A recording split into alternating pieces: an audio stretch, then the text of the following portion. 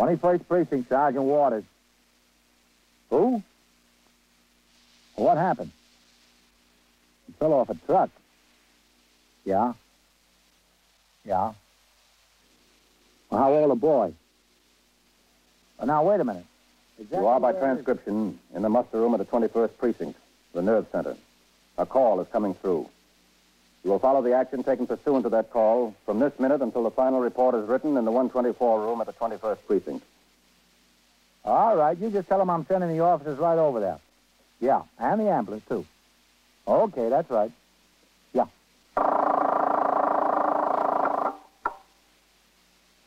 21st Precinct. It's just lines on a map of the city of New York. 173,000 people wedged into the nine tenths of a square mile between Fifth Avenue and the East River. The security of their homes, their persons, and their property is the job of the men of the 21st Precinct. The 21st, 160 patrolmen, 11 sergeants, and four lieutenants, of whom I'm the boss. My name is Keel, Thomas P. Keel. I'm captain in command of the 21st Precinct. I was doing day duty, 8 a.m. to 6 p.m. It was a bright, warm Sunday morning, and after I turned out the platoon at 8, sector car number 4 came by the house for me, and I went on patrol of the precinct. We had driven uptown on Park to the boundary of the 21st and started downtown on 5th when the number of our car was broadcast with instructions to call the station house. Patrolman Farrell stopped the car at the nearest call box, and I rang in. The desk officer, Lieutenant Gorman, told me that Patrolman Patrick E. Cahill had been injured while chasing boys out of a condemned tenement building on First Avenue. He had been taken to Bellevue Hospital in an ambulance. Because of the possibility of sick leave with pay or disability retirement in such cases, a commanding officer is obliged to make a detailed investigation to determine if the injury was in the line of duty. So I returned to the car and instructed Patrolman Farrell to drive to Bellevue. There we parked the car, and in the emergency ward, I was told where to locate the resident who had treated Patrolman Cahill on admission. Doctor? Yes. Are you Dr. Husberg? Yes, I am. I'm Captain Keel, the 21st Precinct. Oh, yes. How do you do, Captain? How are you? Patrolman Cahill is one of my men. I understand you treated him when he came in. Oh, yes, I did. What does it look like, Doctor? I think he has a fractured left ankle. Oh. He couldn't carry his weight on it. It was swollen considerably by the time he got here. Mm-hmm. Even from an examination by palpation, it appeared to be fractured. I sent him back to make x-rays. We'll know for sure in a couple of minutes. Can I go back there? Oh, yes, sure, Captain. I don't see why not. This way. Thank you. He seems to be perfectly all right otherwise. A few contusions on the leg where he went through the floorboard. No indication of shock. I've given him a needle to calm him down and ease the pain. I see.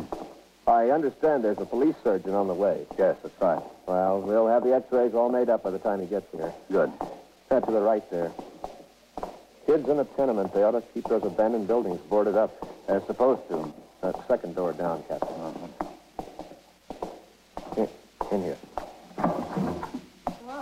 Go ahead. Take a deep breath and hold it. Don't breathe. Okay, Commissioner, you can breathe now.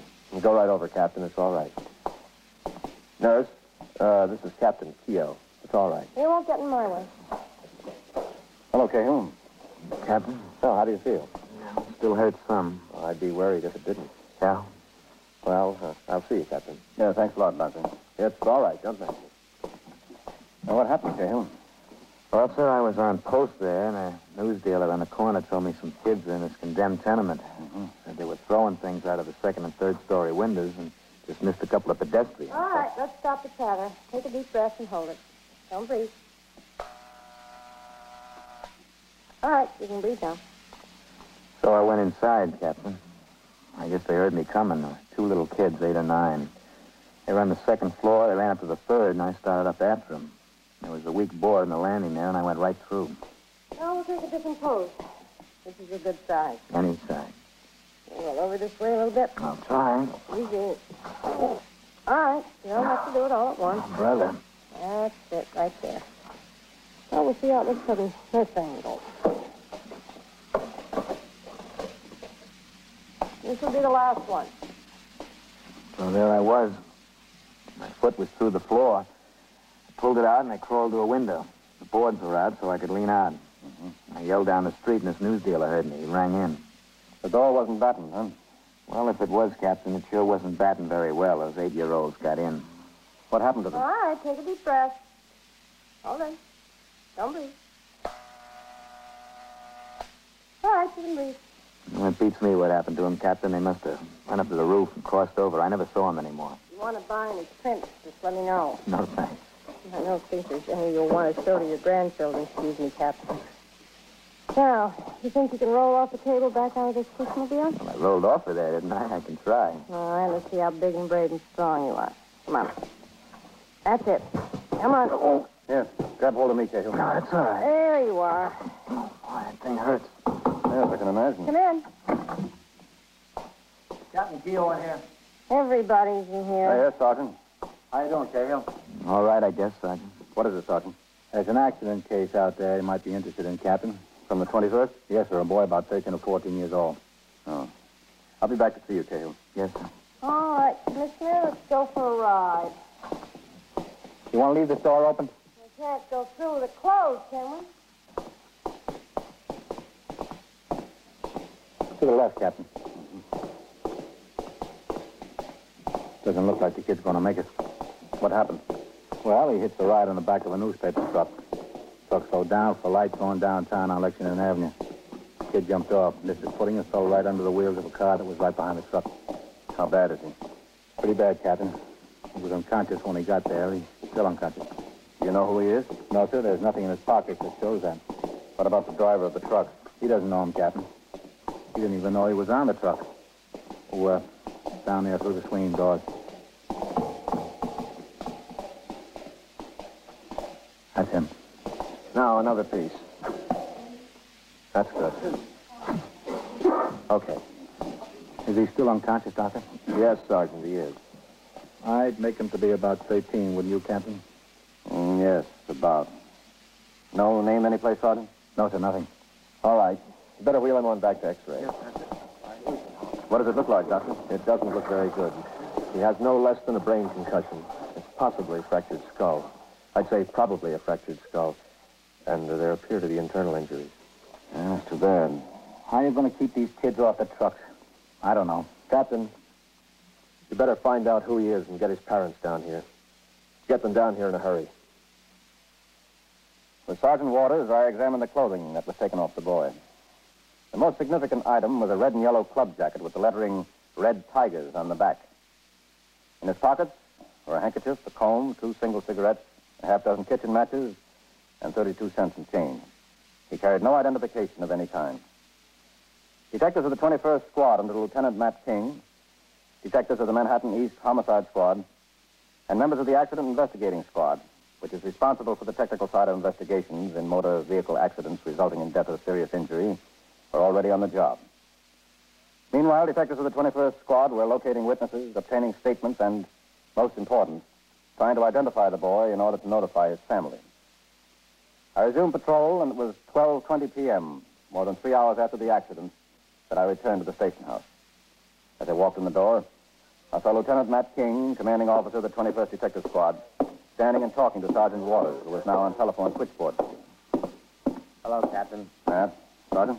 Busy Sunday, Skipper. Yeah. I'd like to talk to you, Captain. I'll be just a minute, Matt. Uh, as soon as I sign the blotter. Yes, sir. I don't know. Kids riding on the back of trucks.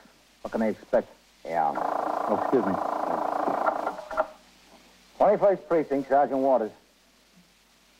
Well, where were you? You're ringing five minutes late. Yeah. Yeah. Well, I got to admit that's a good one. But just ring it on time, will you? Okay. I don't know, Lieutenant. They seem to have better excuses these days. They're getting a bunch of smarter rooks. How's the boy, Sergeant? Did you hear? Still alive, Captain. I just checked a few minutes ago. Mm-hmm. Any identification, Matt? No, sir. We're working on that. I'll be in my office, Sergeant. Yes, sir. Come on, Matt. Yes. I gave it to Dan Goldman, Captain. I've got him out trying to identify the boy. Good. I just spoke to him. He hasn't gotten any place yet. Go ahead, Matt. Yes. Sit down. Yeah. The doctor told me the boy probably wouldn't live through the day. Yeah, no. I think it's important to get him identified and get his parents down there. We're trying our best, Captain. Yeah, I know. Of course, we don't even have any idea what neighborhood he's from. That newspaper truck was coming all the way down from the Bronx. The driver said he didn't even know the boy was on there, much less where he hopped on. Well, we ought to be able to identify him pretty quick through that club jacket. The Red Tigers, yeah. The precinct youth patrolman is off, but uh, you ought to be able to reach him at home. He keeps a file on those clubs. Yes, sir, I know. I had Goldman call his home. He isn't at home. Well, he might be in church. He should be home soon. I got a call into the youth squad and the juvenile aid bureau, too. They're checking their records. Mm-hmm. They might have a club called the Red Tigers listed someplace. Yeah, they might. How's the cop that was hurt, Captain? Cahill? No, he'll be all right. Fractured ankle. He'll be out about six weeks. There'll be some way to keep those condemned buildings more secure. Yeah. I don't know what more I can do about it. I send a sergeant out every week to make an inspection of everyone in the precinct. I send a 49 downtown to the Department of Housing and Buildings in connection with everyone that can be entered. And I see the summonses are issued for the owners. You just can't keep the kids out of them. They're attractive hazards. Well, they're going to tear them down eventually. Why don't they tear them down now? I don't know, Matt. There's always some good reason. Yes. Uh, when did JAB and the youth squad say they'd call back? As soon as they look for their cards. Well, if you don't hear from them soon, you'll call, huh? Yes, sir. Excuse me, Matt. Yes. 21st Precinct, Captain Keogh. Sergeant Waters on CS, Captain. Yes? I just heard from Bellevue. The boy died at 1216. Oh, Yes, sir. all right. Well, you won't make it, Matt. The boy died. Within a few minutes after Lieutenant King went upstairs to his office in the 21st Detective Squad, he called me on the telephone to inform me that he had heard from the Juvenile Aid Bureau. They had no record of a boys' club called the Red Tigers. Ezra D. Winkler, the precinct youth patrolman, arrived at the station house at 1.35. With Detective Goldman, he checked through his files. There they located a record of the Red Tigers, which showed that the club was composed of some 10 boys, 13 to 15 years of age. They had met in a basement clubhouse on East 73rd Street in the 21st Precinct. The names and addresses of several of the members were on file. There was a big hitch, however. The Red Tigers had disbanded because of a squabble among members and had been inactive since 1951. The boy we were trying to identify appeared to be no more than 14 years old. All the former members of the Red Tigers were now between 18 and 20. It was decided, nevertheless, to check out each of the former members to see if he had any, information about the dead boy. By 2 p.m., Detective Goldman and Patrolman Winkler had set about this task. And somewhat later, I was in my office busy reading and signing reports. Out in the muster room, Lieutenant Gorman was desk officer, and Sergeant Waters was still on telephone switchboard duty. 21st Precinct, Sergeant Waters. Yeah, where is this? Yeah? Yeah. Well, what's the bus stop Stanson doing in the hallway there? Who was it? A drunk? All right, I'll send an officer right over there. No, just leave it where it is. Let the officer attend to it. Yes, ma'am. All right, you're welcome. Hey, listen, Sergeant. Yeah? Uh, is this where I'm supposed to come? I'm Walter Lobb. What do you mean, is this where you're supposed to come? Well, a cop was around my house to see me. Yeah? Yeah, a fellow named Winkler, Ezra Winkler, I think. Is he from here? That's right. Patrolman Winkler. Yeah, yeah. Well, I wasn't home, he talked to my sister. Told my sister he wanted some information from me. What kind of information, do you know? Uh, Sergeant, would you file these? Oh, yeah, sure, Captain. Are you one of the fellows who used to be a member of the Red Tigers, Waller? The Red Tigers? Oh, yeah, yeah, that was my club. I used to be a Red Tiger. Well, what's that got to do with what he wants me about? I'm Captain Keogh. Oh, excuse me, Captain. Uh, this is Walter Lobb. How are you, Walter? Well, fine, except this cop was around to see me. He spoke to my sister. Said he wants some information from me. What kind of information, do you know? Is either Winkler or Goldman around, Sergeant? No, sir, they're both out. Who's up in the detective squad? Nobody now. Lieutenant King went out for a meal. He ought to be back any minute. Well, what's this all about, anyway? You got me worried, you know. What kind of information is it? Oh, there's Lieutenant King. Uh, Matt. Well, I got a right to know. Yes, Captain. Matt, this is Walter Lobb. How are you? Lieutenant King. Hello, Lieutenant. Walter used to be a member of the Red Tigers. Oh, is that so? Listen, tell me what's so important about the Red Tigers. I Haven't even thought of the Red Tigers in four or five years. Winkler was around to see him, and he wasn't home. He left a message with his sister. You want to come upstairs with me, Walter? Why? Just want to show you something. Listen, I don't know what this is all about, but I didn't do anything. We know you didn't, Captain. Uh, yeah, Matt, I'll come up. Can you recall all the members of the Red Tiger? Well, there were about ten of us. Yeah, ten kids. Upstairs. Where are they now, do you know? Well, a lot of the guys have moved away from the neighborhood. Some of them I haven't seen for years. It's a different world I live in now. Yeah. Oh, what's the problem? Look, I want to help you out if I can, but I'd like to know what it's all about. In here. Go ahead, Oh, that's obliged. Captain. I couldn't tell you much. Sit down there, Walter. Yeah, thanks. How did the Red Tigers come to break up? No, you know, it was just one of those things. First of all, we were getting a little too old for that kind of stuff. 15, 16, you know. 13 and 14 is all right, but 15 and 16, you're getting a little too old. A couple of guys had a big fight over a girl in the neighborhood, and we split into uh, two fractions, like. Big brawl was the night of the election. Boy, we really tore up that clubroom. They called the cops on us that night, you know. Yeah, people upstairs, they called the cops. We were in here, right in the station house. Boy, there was some fight. I carried around a mouse for three weeks, size. Well, after there wasn't much reason for sociability among us, so we just gradually drifted apart. Uh, like I said, we were getting too old for that stuff anyway. Did the club ever have jackets made? Yeah, yeah, we had jackets. We had red and yellow ones with the red tigers across the back there, you know. Boy, did we have to skimp and scrape to get those things. They were $20 a piece. Hey, you know how we did it? We had raffles. It, it was Thanksgiving, I remember. We raffled off three turkeys. We made enough for all the jackets. 200 bucks. That was all right for kids, huh? Yeah, we were a pretty smart bunch. Where's your jacket, Walter? My jacket. Yeah. Oh, let's see. I think it's home there hanging in the closet still. It'll be too small for me now. You know, I was 15, maybe 14, something like that. I've got a jacket in my office, Walter. I'd just like you to take a look at it and see if it's a Red Tigers jacket from your club. Oh, sure. I'll be glad to. I'll be right back. Yeah, yeah. Take your time. Hey, listen, what's this all about? Is somebody in a jam? Somebody who was in a club? No, no, it's nothing like that. Oh, well, that's good to hear. They were a nice bunch of guys. Even if we did fight, you know, nobody got in real trouble. Kid stuff, that's all. They all turned out pretty nice as far as I know. They all got jobs. A couple of guys even went to college there. As a matter of fact, one's a cop. Howard Linden, do you know? Uh, no, I'm afraid I don't. Hey, lives in Rego Park now. Nice guy. A very nice guy. Walter, take a look at this. Oh, yeah. This is a Red Tigers jacket? Yeah. That's a red tiger's jacket. What'd you get? Hey, how did it get torn like that? That's a shame. Yeah. Well, whose is it? Uh, Which one of the guys? We don't know. That's what we're trying to find out. Oh, you want me to help you with that, huh? There was no name in it. Well, no, we, we didn't like to put names in it because the material was so light it would show through a little bit, you know. One guy tried it. Boy, was he sorry. There's no way you can tell whose this is. Well, there were ten of us. It must have belonged to one of the ten. That's logical, isn't it? Yeah. Let's see this. Yeah, I couldn't tell nothing by the size. We were mostly about the same size. You know, kids. Yeah. Hey, for crying out loud. What, huh? What? I think that's mine. Is it? Well, yeah, yeah, I think so. You see that ink spot there on the inside?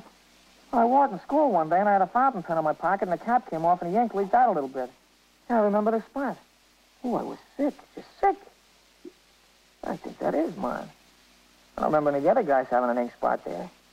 Oh, man, I could have killed myself that day. I thought you said your jacket was home, hanging in the closet. Well, that's what I thought it was. I'm sure it was there. Hey, wait a minute. Yeah? Well, I think if I'm not mistaken, two or three months ago, my mother said to me, she said, Walter, there's a boy upstairs who could wear some of your old clothes. You got a lot of stuff hanging around in the closet there. I said, all right, give it away, but don't give any of my new suits away, my new shirts and stuff. She said, all right, so I guess maybe she gave it away. To the boy upstairs? Yeah, What's the boy's name? Carl. Carl Paslick. Yeah, yeah, he lives upstairs on the fourth floor there. Carl Paslick. How old is he? Oh, I don't know, about 13, something like that. 14, maybe. Hey, kid. Do you know him when you see him? Sure, I know him when I see him. He lives right upstairs from me. He lived there for a couple of years. Why? Walter, a boy fell off the back of a newspaper truck this morning. This kid, this Carl? We don't know for sure, maybe. Oh, how was he, bad? He died. Died in Bellevue about 12.15. Oh. He was wearing this jacket? Yeah. Oh, that's rough. That's pretty rough. Yeah, kids got no business jumping on back of trucks like that.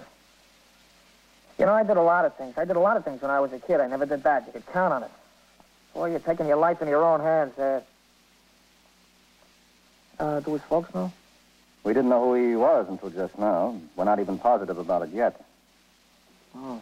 We tried to find out who he was before he died so we could get his parents down there to see him, but we couldn't. Would you be willing to go down to Bellevue and take a look at the boy and tell us if it's this Carl? Yeah, yeah, if you want me to. think it'd be a good idea. Oh, too bad. It's rough. You know, it's a rotten shame what kids will do today. A radio call was put out for Detective Goldman. He returned to the station house and took Walter Lobb downtown to the city mortuary at Bellevue Hospital. There, the young man identified the body of the boy killed that morning as that of Carl Paslick, who lived upstairs from him on the fourth floor of a tenement building at 761 East 71st Street. After the identification was made, Detective Goldman and Walter Lobb returned to the station house. Sergeant Waters was instructed to go to the boy's home and notify the parents. He took Walter Lobb, at 3.10 p.m., they walk up the stairs of the building toward the third floor. I'm telling you, you don't realize it when you're a kid. There's certain things that are dangerous. Yeah. Yeah, they never learn. They just never learn. That's where I live here. You sure your mother's home? Well, yeah, yeah, I think so. Paslicks are upstairs there in the front. Yeah, I know. Ma? Hey, come on inside. Yeah. Ma, Yeah, in here, Walter. can you come in the living room a minute, Ma? What's the matter? Come in the living room. She'll be right in. All right. Hey, you want to make yourself at home? Uh, sit down. No, that's all right. You could have come in there, Walter. I was washing the dishes. Oh, excuse me. What's the matter, Walter? Ma, this is Sergeant Waters here. How do you do, Mrs. Lobb? What did you do, Walter? Are you in trouble? No, no, no. I'm not in any trouble, Ma. I didn't do nothing. It doesn't concern him, Mrs. Lobb. Oh, That's good. I knew it couldn't be. He's a good boy. Uh, Mrs. Lobb, do you know Mr. and Mrs. Paslick upstairs? Well, did they do something? What? Ma, if you'll just listen. The boy Carl was killed in an accident this morning. No. Yeah, That that boy, that little boy. he was 14. My goodness. My goodness. I have to go upstairs and notify them. Oh, they don't know yet? No, not yet. He wasn't identified until just a little while ago. Yeah, I identified him. Are you acquainted with the mother? Oh, yes, I know her. Is she home? Did you see her this morning? No, I didn't see her. You know if Mr. Paslick is home? I didn't see either of them. But it's Sunday. He must be in church. Mrs. Lobb, we always find it best when we notify someone of something like this if a neighbor will come along. Would you be willing to do that? Well, if you want me. I think it would help. Yeah, I told you she would, see? All right. I think we'd better do it as soon as possible. Well, I'm ready. Uh, you better stay here, Walter. Why? I think it'd be best. Go in the kitchen, get something to eat, Walter. Yeah, I don't know why I have to miss everything. We'll go right up, all right? Yes. Shame. The real shame. Upstairs. Yeah, I know. Nice, quiet boy. What happened? He fell off the back of a truck. Truck. Well, what was he doing on a truck? That's what we'd like to know. Oh, the poor woman. In front there. Yeah, You tell her. I, I don't want to tell her. I'll tell her.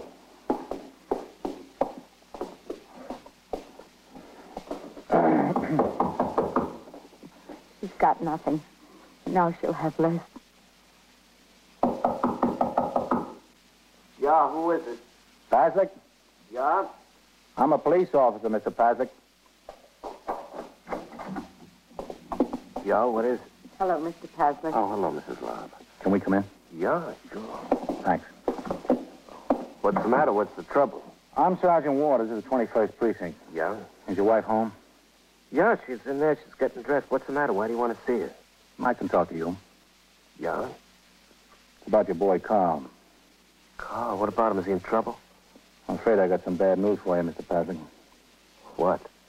Boy hits the ride on the back of a truck this morning. Yeah, so? Fell off the back and he was hit by a car. Where is he? Down at Bellevue. Is he all right? Well, is he? No, sir. Well, is he hurt very bad?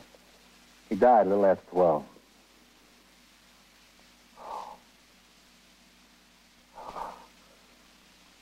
Martha? I'm sorry, Mr. Parker. Martha? Maybe I should go. Martha? I was getting dressed. What is it? Uh, oh, all right. Excuse me. Yeah. I'll, I'll tell her. Yeah. Martha. Where is it? The poor woman. The poor man. He's got to tell her.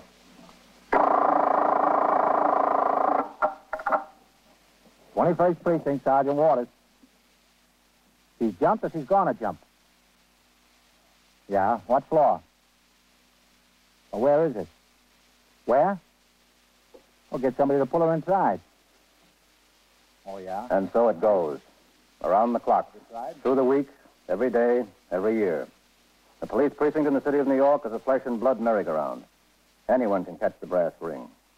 Or the brass ring can catch anyone. 21st Precinct, transcribed. A factual account of the way police work in the world's greatest city is presented with the official cooperation of the Patrolmen's Benevolent Association, an organization of more than 20,000 members of the Police Department, City of New York. Les Damon in the role of Captain Keogh, Ken Lynch as Lieutenant King, Harold Stone as Sergeant Waters. Featured in tonight's cast were Larry Haines, John Aston, Elspeth Eric, Jack Grimes, Ethel Everett, and Bob Reddick. 21st Precinct is written, produced, and directed by Stanley Niss. Olin Tice speaking.